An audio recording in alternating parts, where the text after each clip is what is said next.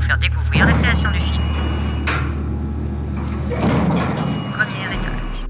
Après la présentation des objectifs de l'option, les élèves prennent connaissance du thème choisi par les enseignants pour l'année scolaire 2012-2013.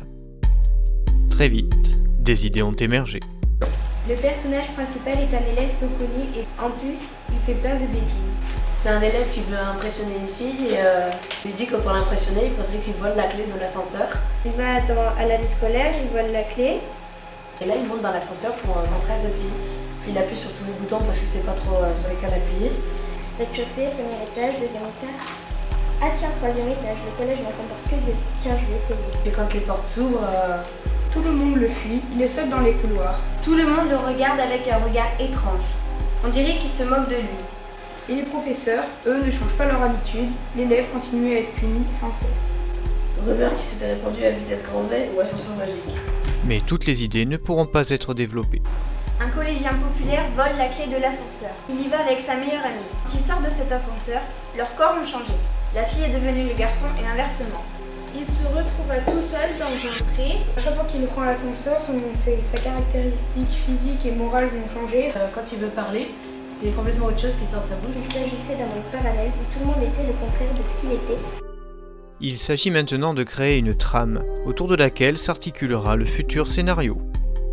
Le film sera axé sur le parcours d'un personnage principal, il faut donc déterminer son caractère et préciser son environnement. C'est un élève euh, comme les autres, on va dire. Néanmoins, il aime les prises de risques qu'être rusé fait part entière de son caractère. Il prend l'ascenseur euh, une première fois. C'est l'attitude de ses parents qui a changé. Ses parents euh, arrêtent pas de, de leur faire des reproches. Une deuxième fois, l'attitude de ses copains qui ont changé envers lui. Les élèves se jettent sur lui pour avoir un autographe. Ah, sauf que ça l'énerve d'être euh, toujours suivi, que tout le monde l'aime bien, que tout le monde le colle. Une troisième fois, l'attitude des professeurs. Les professeurs se battent pour avoir cet élève dans leur classe. Au 16, il a droit à des plats exceptionnels. Il décide encore de prendre l'ascenseur. Il pense euh, si seulement je pouvais euh, devenir comme avant et je redeviens comme avant. Après deux séances de réflexion et de discussion, la trame se précise alors. La véritable écriture du scénario peut alors débuter. La trame est alors scindée en cinq segments et les élèves répartis en autant de groupes qui devront créer les scènes correspondantes et détailler, pour chacune d'entre elles, les personnages, les actions, les dialogues et les décors. Les enseignants effectuent la liaison entre les groupes afin d'assurer la cohérence du schéma narratif et la validation des travaux des élèves. Après cette validation, chaque groupe finalise sa partie de scénario à l'aide d'un traitement de texte.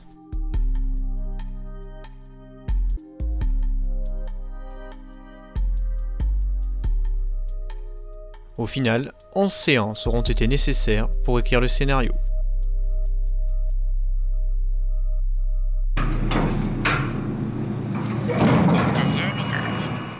Il faut maintenant procéder à la distribution des rôles. Deux séances d'essai sont alors organisées. La capacité d'improvisation des élèves est testée en simulant une altercation entre le conseiller principal d'éducation et un élève du collège.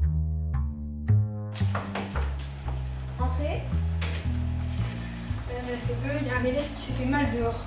Il y a un élève qui m'a giflé, je vous Ah, jure. Mais regardez, c'est rouge. Il lui mettre une gifle Non, non, je suis en train de mettre des heures de colle là, je vais pas t'écouter. Il nous Désolé.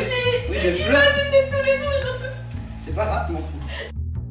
Le scénario comportant de nombreuses séquences où les personnages doivent exprimer des sentiments, des exercices sont menés en ce sens.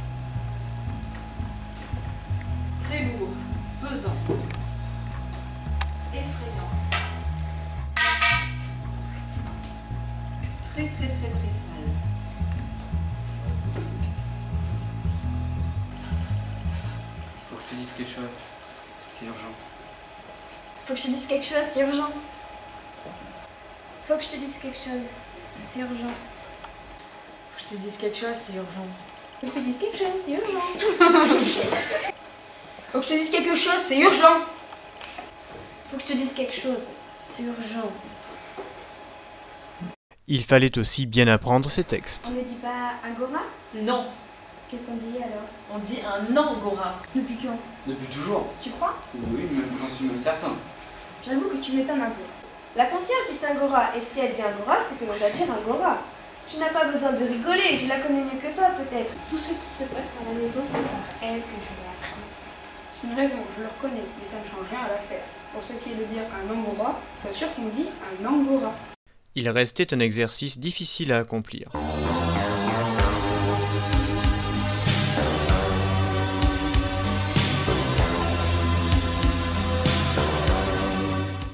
Après ces essais et le choix des deux personnages principaux, il est décidé d'étoffer les autres rôles parlants en faisant en sorte que chaque personnage du quatuor principal dispose de sa propre histoire dans le film.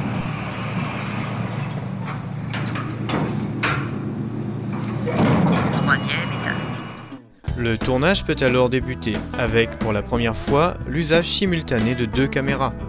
Malgré cela, il faudra 5 mois, soit 25 heures, pour finaliser ce tournage.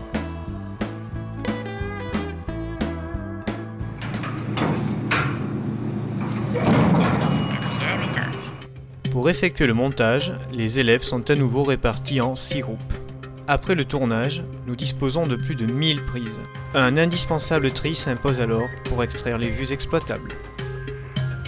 Après une formation rapide et un logiciel performant de montage, les élèves, munis du scénario qui donne le cap, façonnent images et sons pour donner corps au futur film.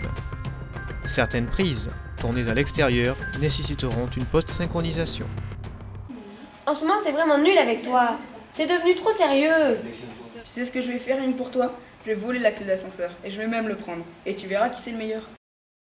Le travail de montage permet d'associer créativité et rigueur.